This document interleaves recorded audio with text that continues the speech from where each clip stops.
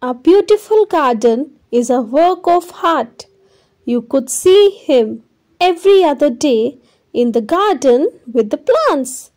Hello, modernites. Can you guess which helper I am talking about?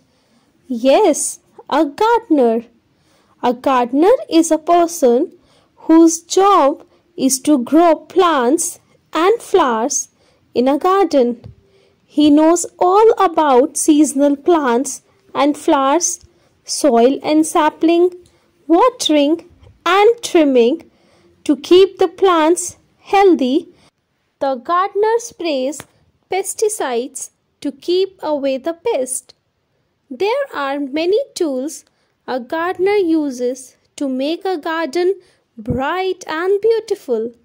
A few of them are rake, sickle, hoe, spade, fork, and trowel.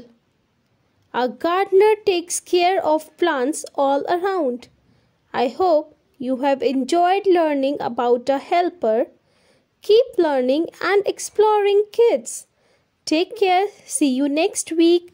Bye.